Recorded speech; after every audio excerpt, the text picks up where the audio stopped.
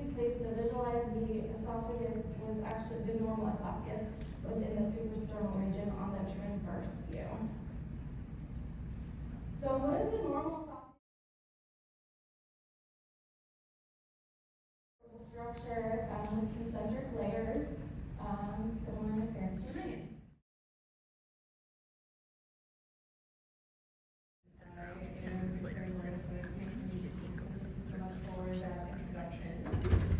My very first adaptation of residency, my faculty told me that the only useful view was the IVC. Proving them wrong is the inspiration for this talk. And thank you so much for having me to speak because it is the ultimate retribution. This is an LVAD. This is a basic artistic rendering of an LVAD. There is the inflow cannula bringing blood out of the apex of the left ventricle and bringing it into the ascending thoracic aorta. Serve as a bridge for our sick congestive heart patients to get to transplantation.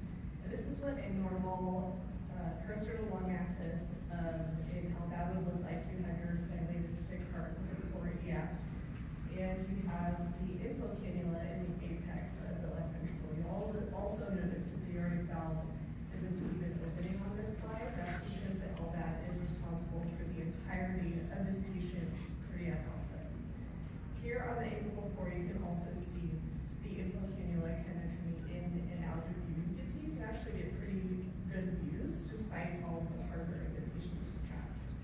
So 2,500 LVADs are placed every single year. So there's an increasing likelihood that these patients will only present to your tertiary care center with an entire building dedicated to cardiac patients. So what do we do when they present to our standing? You do your primary survey, you focus on circulation, and you frantically call the transfer center to get them out their freestanding. But oh, what else can you do? You look at the LVAD itself, you look for any alarms. Is there any low battery alarms? Is there a low flow? And you get them connected to a power source. Most LVADs have an AC adapter connection. And then you listen, you use your stethoscope. And normally you would hear a hum. If there's any clicking or low hum, this will be evidence that there is a, a problem with the LVAD itself. And then we look at the IVC uh, with our ultrasound. So my faculty was right in some ways. If you have a flat IVC, then this will greatly narrow your differential to either one of two things. They're either hemorrhaging from being chronic anti, chronically anticoagulated, or they're septic from a driveline infection, the connection between their external power source and their internal artificial heart. If their IVC is dilated, then that means their problem is likely more related to a cardiac source, an LVAD source, pulmonary source. And that's going to be 4 to 8% of your presentation. So only a smaller percentage are actually going to be specific to complications of the LVAD itself. And then you're going to do your normal ultrasound for patients without an LVAD. And you're going to focus primarily on overall size. Do they have small RV and LV? Do they have an isolated enlarged right ventricle or do they have biventricular enlargement?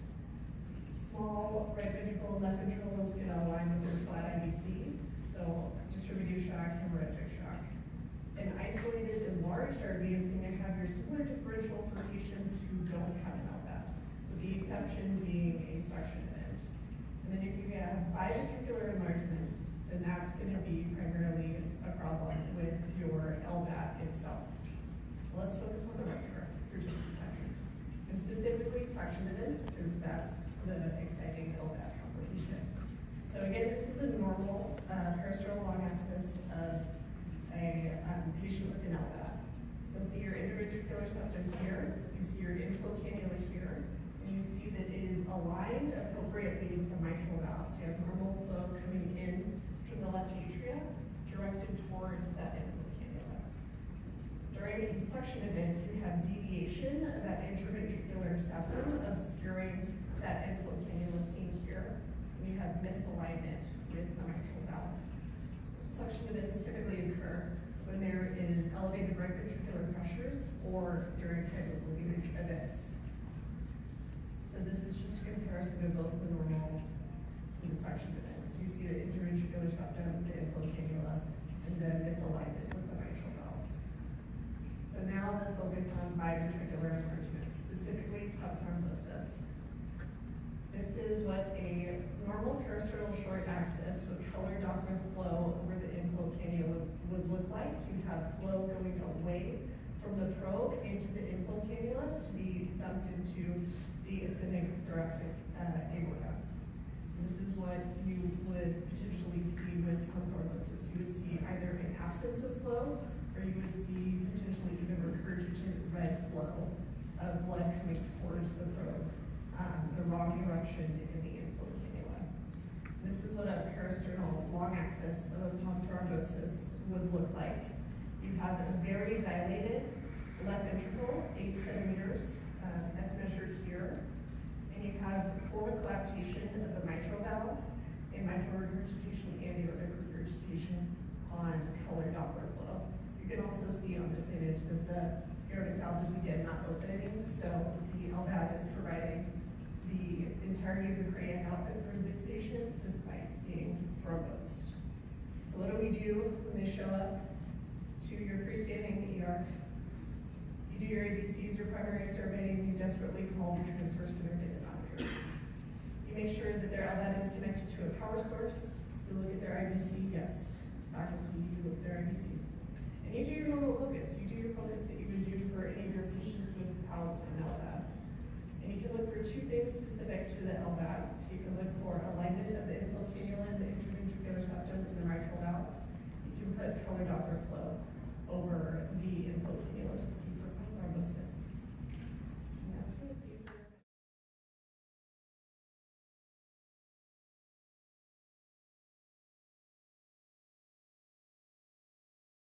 But specificity, this one was actually one of the highest one I found, like forty-three percent. I was like, okay, that's not good. Um, I found other publications, kind of like they kind of like same scenario I was looking for. Like this case, they had 192 patients, same thing, negative X-ray, tender box, and then only 29 of them were tender, even dropping even more the specificity. So they brought out a good points like, are we overtreating these patients for no reason? Probably. We're making them to go through this whole process for a whole month, really stressful for them.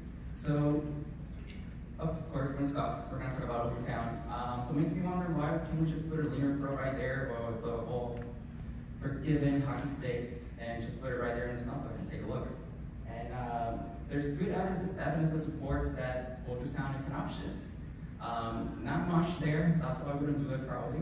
But if you have cortical disruption or an effusion that's sensitive enough to have almost 100%, and if you have both findings, you can pretty much diagnose it as almost 100% specificity too, uh, which is great.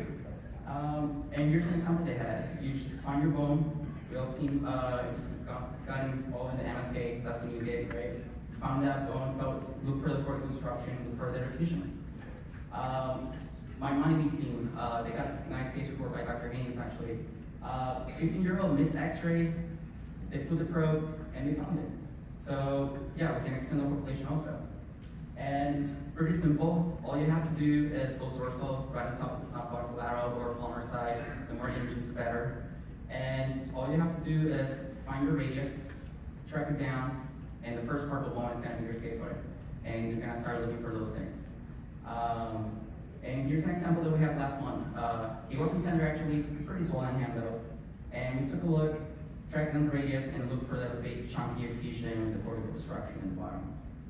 Um, so yeah, I'm with Elmo. We should definitely, you know, X-ray. Part of the standard care, I wonder if we should set app runs for on these patients because, you know, if the evidence out there, we just don't have enough people to kind of like support this and we still need more data. So my job is for you guys to be encouraged to start doing this in your daily practice for curiosity, put some data out there, your linear probe or dip hands in the water baths. I've seen people get creative with emesis bags, I've heard. Um, track down the radius. The most important thing is definitely ulnar to ADA at risk, so that way you expose that stage with high as possible.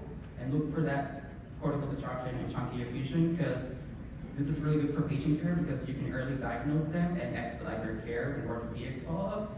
Or even better, if they got nothing, what if we can just forget about the cast and start dropping casts? Forget about it. uh, that's why I signed up for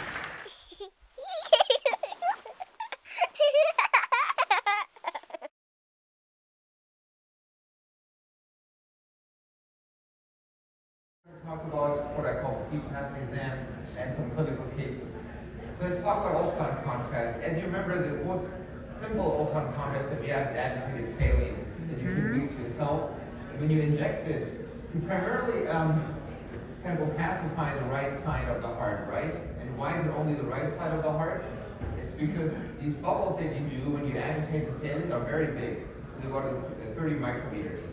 You compare that to a pulmonary capillary, that's the reason why they don't cross, uh, make it through the transpulmonary passage because they get stuck and then they get dissolved. Ultrasound contrast is much smaller, it's only three micrometers. And if you compare that, it's about the size of a erythrocyte. And the ultrasound contrast consists of two different parts.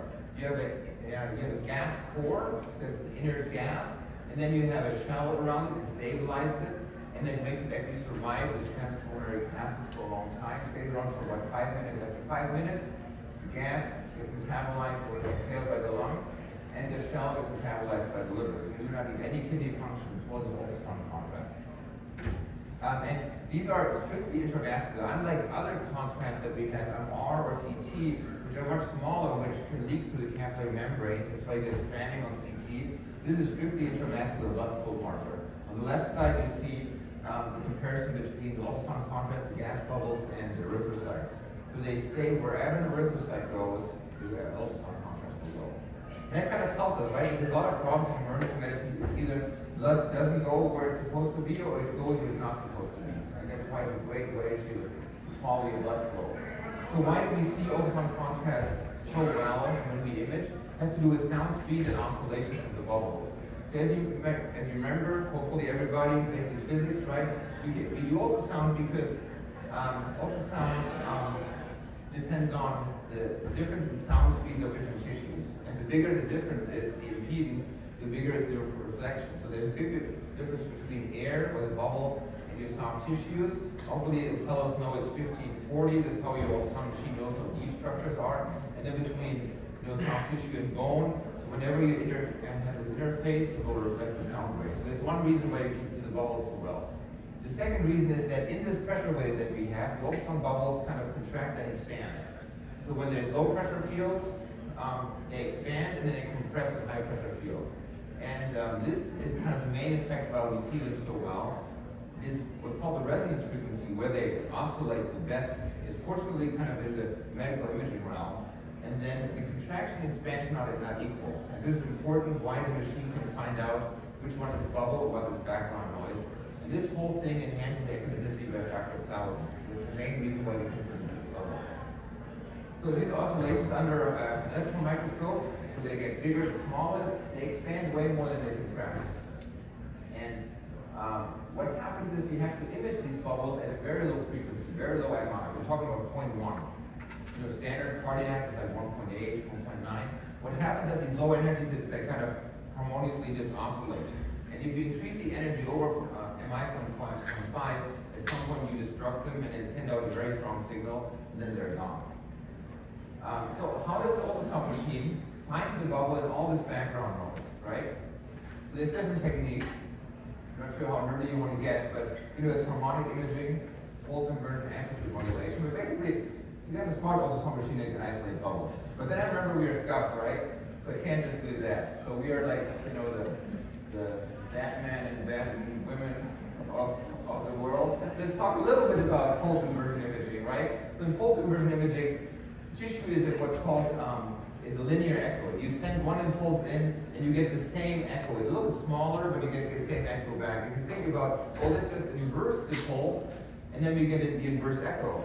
And you can subtract the first one from the second one, then it gets black, and you get anything back, right? It, it cancels each other out. But as, like I said, ultrasound contrast is a nonlinear scatterer. So when you put an incident pulse in, in one phase in, you get an echo. If you uh, if you invert the impulse, you get another echo, but it does not look like an inverted first echo. If you subtract these, then you actually have a signal. So the machine is able to remove the background and just have the ultrasound contrast in. This is what's called pulse, pulse inversion imaging. So, um, fun fact, about 9 out of 10 radiologists have no idea. So you only know most of this than your people in the in your hospital. So if you can talk a little bit about pulse inversion imaging. So what does it look like? This is a contrast ultrasound image. You have a reference image that's a little bit degraded because of very, very low MI, but 0.08.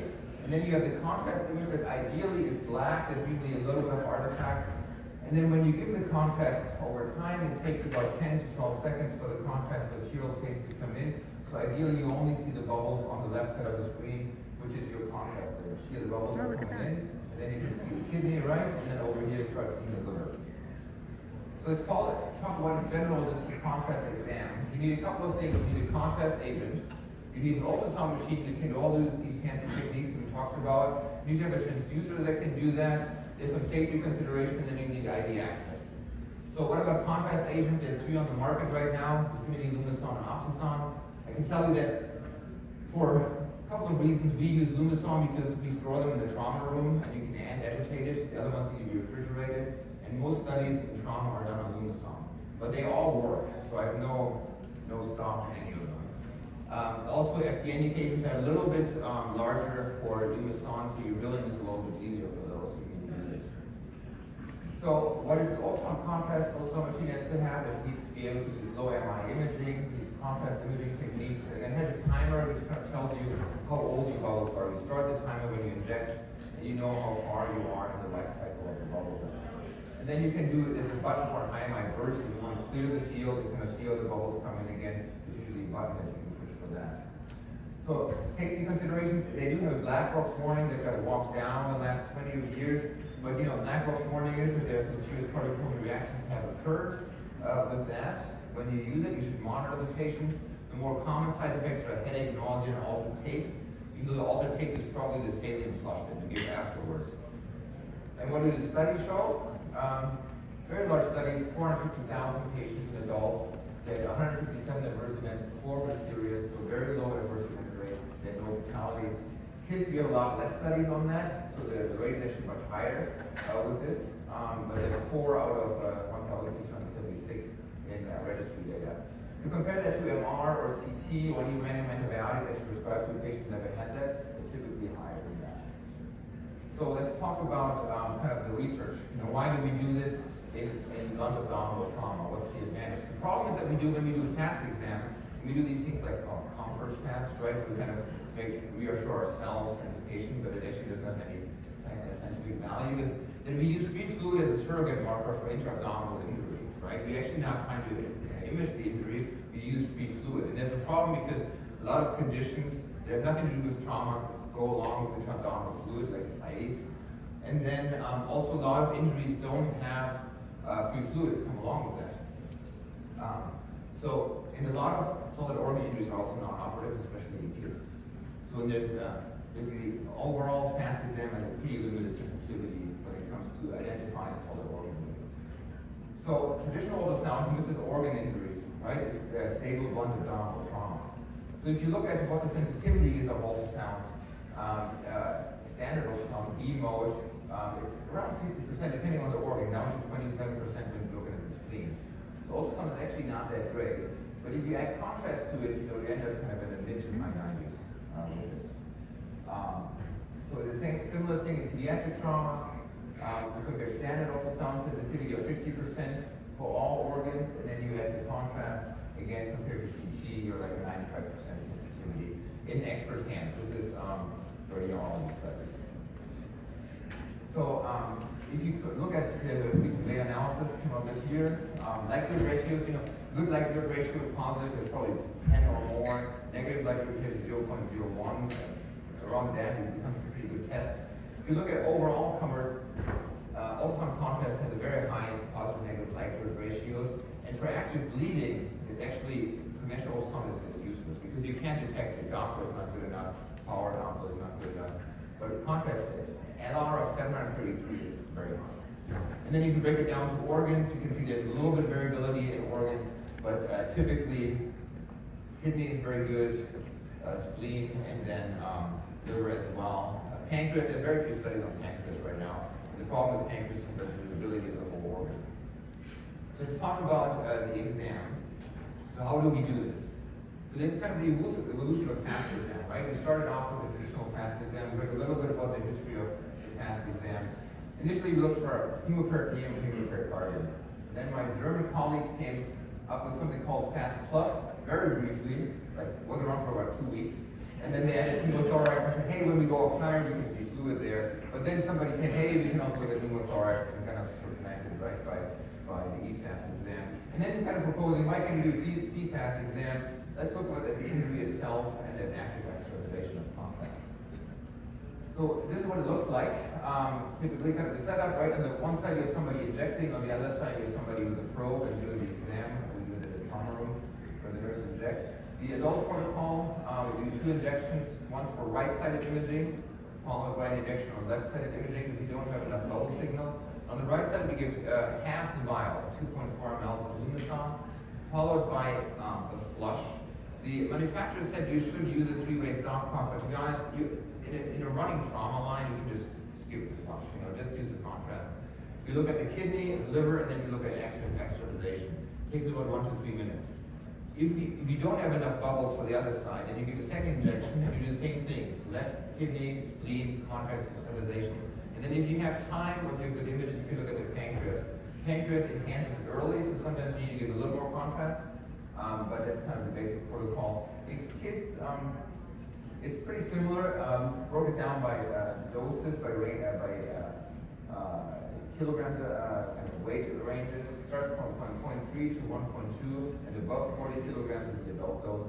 But the limitations are um, contrast in adults, so it's not great for the adrenal glands. Obviously not for mesentery or for bowel, because it's kind of general limitation for ultrasound. And then the major uh, downside is the renal collecting system, which um, limits your ability to detect um, AST grade 5 uh, renal lacerations. So here's kind of uh, the um, views that we do. We do uh, two views of the right kidney, then three views of the liver, then two views of the spleen, and two views of the left kidney as well.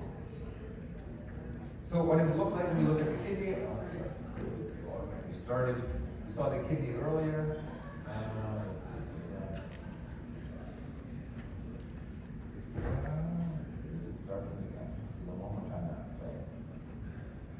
Was the auto start? Um, so you basically inject, you visualize your kidney, you look at the same thing on the other side, and then you see the contrast come in pretty early, and then you're looking at basically a discontinuity of the uh, of the parenchyma. Obviously, this is the collecting system in the middle, so you should know that these are not uh, lacerations. This is a normal one, but you do see there's free fluid, and then you're trying to see, do you see any bubbles in the free fluid between uh, kind of the liver and the kidney and the um, uh, hepatorenal pouch. Same thing, liver. You know, liver is a large organ, so you really the main challenge for this is to be able to image as much as you can of the liver, because if you don't image it, obviously you can't see it, so you're trying to go through the whole liver if you can. Spleen is very similar, you go over and then you kind of try to image the whole spleen. And then contrast extravasation, and this is a picture of um, that um, Jason Nomura uh, gave you. We can see kind of the contrast floating around. That's what active contrast extravasation looks like. So let's talk about some cases. Um, the clinical cases, the first case that we have is a 45-year-old female uh, had a motorcycle crash, unhelmeted, and um, came in with maybe a major head and thoracic trauma, was not anticoagulated, and basically evidence of right torso trauma on exam. And so when we do the, the exam, um, we see that on the fast exam, hopefully everybody can see kind of the free fluid, right? There's blood in the uh, pouch. Um, and then we do the contrast exam on the right side, and what you will see is this focus kind of views the kidney. You Everybody see the kidney? Contrast coming in, right? Then you can see that there is a perfusion deficit right there, right? You see this cutting through the kidney. So when this looks like it's probably extending the renal collecting system, right?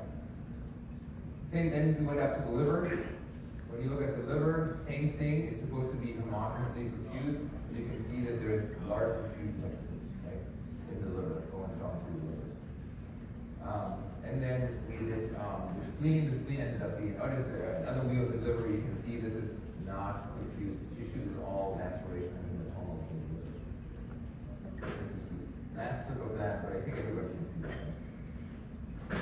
So this is a comparable, you know, CT. Here's the uh, grade 4 liver and renal laceration. Here's the liver, here's the renal laceration. Basically what we saw in CT before. Next case, we have a 11-year-old boy who had a fast pitch to the left flank. I always say when I initially heard the story that I didn't know what a pitch was, and I thought he got hit was a bat. I thought that's what a pitch was. But you know, how do you get hit when it's far away, you know, like it's a ball that went into the belly. I've heard that. So, uh, sorry, I'm not from here. So, uh, she's playing, baseball, hit mid game, has asthma, and then basically just has this contusion, right? On the left side that was hurting, and then you pull the trigger in an 11 year old and see the belly that a very focal trauma to the left side, and we didn't want to. So it's like, why don't we do this first? Uh, obviously, we did the x-rays, and there's an ultrasound talk, so all the x-rays are negative. It's just the way it is. Did you hear him? Films, like, He said there's an ultrasound x-rays, talk, but all the x-rays Basically, there's no acute injury, and then, you know, we, we looked at, uh, this is the right side, obviously he didn't get hurt there. Um, and then left upper quadrant, we did left upper quadrant, can't really see that much. And then, um, the pelvis, there was some free fluid, and then we have, um, just a cardiac lead spine. Then we did the contrast, uh, part, I hope you fully, now you have a little bit better idea what you're looking for, because the, see here, right, kidney coming in, and this spleen takes a long time, kind of zebra effect first, and then, um, we kind of try and go through the spleen and see what we can see. And after a while, after um, investigating the whole organ, I can tell you that uh, the right corner, sorry. Uh, we gave another contrast bolus, and then look at the left side. Here, up here you can see there's a small laceration, right? Very small, of um, like a grade one laceration of the, the spleen. Was that we actually were um, uh, grade three. Sorry, guys, go down. down sorry, I missed it. It was grade three because it extended further down, so it ended up being grade three here. You see, all. Um, then you know they prompted us actually. Then we get a CT afterwards. It obviously looks the same as we just saw. We put the image over there and it looks very similar. And then we actually was the first time and ever time that I was able to, together with our um, uh, pediatric trauma surgeons, to convince radiology to do follow-up study because the kid wanted to go back to play. So six weeks later, we were able to schedule an outpatient study. And you can see a little bit the difference. They have a lot more fancier equipment, a lot more spatial resolution, but after eight, eight weeks later, there was just a little defect left, but otherwise was able to go back to play. That was that.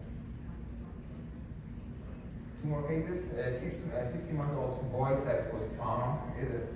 Uh, basically, mom him on the bottom of the stairs. Was a little bit suspicious. Brought to community by a, uh, a private car. Was actually pulseless. Had CPR. Ross was level two trauma center. They did have a neurosurgeon that took him to the OR for septal hemorrhage. Then transferred to us, and they lost IV access. So we only had IO when they came. Um, so what did we do? They did a non-contrast CT in the outside facility, and you can see how not very helpful this is in in a baby because you really can't see much. Radiology thought maybe there was lucency in the left lower lobe, possibly due to trauma. And then we did a fast exam, obviously as a of free fluid uh, on that one. And then uh, left upper report, there was some fluid, the pelvis was some fluid, the heart was fine. And then um, we did the contrast exam, and then you can see there is a laceration right through the liver. Unfortunately, you know, this was a very different story later. Uh, mom actually hit the child on the side of the crib. The child died later, so actually just keep went to autopsy, then you can see that there's kind of stellate liver laceration that we saw uh, like that. But as you can see, you can't see it on CT, you can see it on. So last case is a uh, two more cases. A 64 year old female is a kicked by horse, very Minnesota. Um, on the on the right side, was not anticoagulated, had right abdominal tenderness, and we did a fast exam. Here looks fine. What I want to look when you see here, it's a little bit brighter. Right? You see that the uh, the liver parenchyma. That's actually what a laceration looks like on uh, remote ultrasound. So if you see that, that should make you suspicious, but it's really difficult to see sometimes. And then we do um, contrast exam, uh, where we first kind of, again, look at the kidney, I think it's familiar for you right now, what it looks like. Um, yeah, here's our timer, we have 13 seconds, kind of a, get half view through it, have a little bit of the rib shadows. Initially, you really kind of try to get, between there. But then we look at the, uh, at the uh, liver, and again, you see this liver laceration, kind of peeking through it, and you try to get a good, good look at that as well. Obviously, it looks very similar on CT. This is a grade 3 liver laceration. So finally, now it's the last case. Six-year-old boy fell off monkey bars and had left leg pain and came in with hematuria, which always makes you suspicious. Not anticoagulated, and some left flank bruising. And when the kid came in, um, we did the fast exam. I didn't see too much fluid on, on that one here. Um, didn't see maybe a little bit of free fluid in the uh, kind of the, the chip of the spleen. And that, um, and we do the um, left upper, I already put it down here, but kind of focus on the kidney. You can see only half the kidney is perfused. You see this? It stops here. There's more kidney down here, but it does not perfuse the lower portion, which is basically a complete laceration through the kidney on the left side. And then we look at the spleen, the spleen looks fine. And the right upper quadrant is fine as well. And as you can see here, similar to that, there's a kidney and then a complete cutoff of the inferior pole of the kidney. So it would be grade four renal laceration. It makes it difficult because grade four definition is extends into the renal collecting system. And also ultrasound, you can't see that because it does not get excreted uh, uh, renally. Um, but just by the fact that it's hematuria and it's so far down, you can assume that it's at least grade four laceration.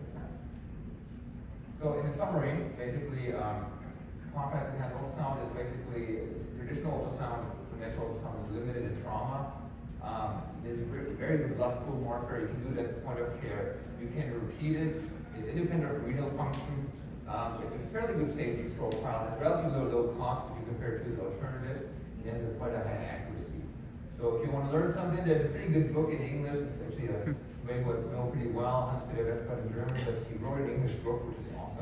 Um, it's not that expensive, it's sixty dollars something on Amazon. Um, but then as we have also great societies, right? AIM has a contrast community. There's ICUS, which is free, and then FSOS has a lot of uh, resources in contrast. And thank you so much. Thanks.